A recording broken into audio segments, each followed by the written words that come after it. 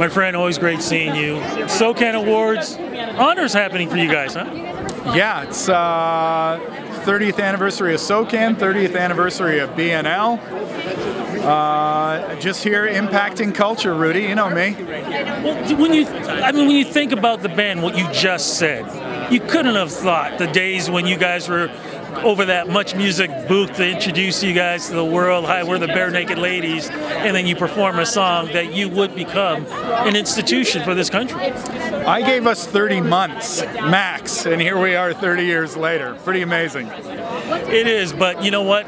The story of the Barenaked Ladies doesn't end. 2019, you guys got a lot of things going. Yeah, uh, we got a new record in the works, and we've got a almost 50 date tour with Hootie and the Blowfish in America this summer. One date in Toronto, uh, but that's going to be a great summer. A couple nights at Madison Square Garden already sold out, so we're looking forward to it. Okay, did you just hear what you just said?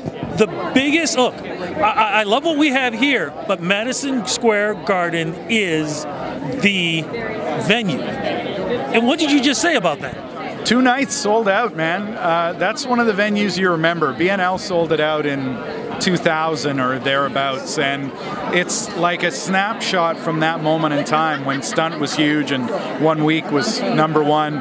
There's a lot of things I don't remember about that time, but I remember Madison Square Garden, and I, I don't know if I thought we'd play it again, and we're doing it twice this summer. Before you go, though, I got to ask you, though, SOCAN, what has SOCAN done for you guys over the years?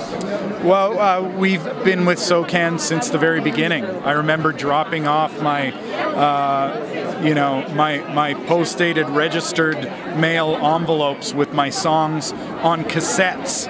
Uh, that was like that was how you protected your copyright back in the day, you know, and and bringing them into SOCAN. Sorry, I remember that. Yeah, that was how you did it.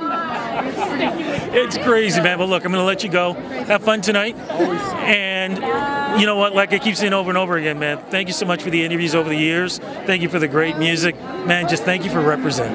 Thank you, Rudy. Always good to see you, man. Cheers.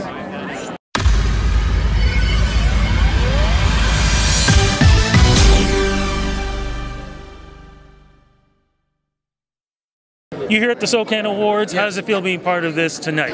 Well, as a drummer, I'm really honored to be at the Songwriting Awards. I just got to say, um, very lyrical player. You know what? Every party needs a drummer, right. right. So that's why I'm here. Yeah, that's it. Well, what has SOCAN done for you guys over the years? Listen, they, they've always supported us all the way through. Like like even informing us of how it works. That's one of the things that they've collected a lot of royalties for us. Thank you, SOCAN, because you know we wouldn't be any good at that. Well, look, I'd be not good if I didn't let you guys go because you got more interviews. You got to get in there. Have a great time. Hopefully, I'm going to see you guys in the summertime, right? Yeah, absolutely. You're going to come to the uh, group therapy tour with Hootie and the Blowfish. I will be there for that. Okay, excellent. Thank you, Rudy. Have a good time.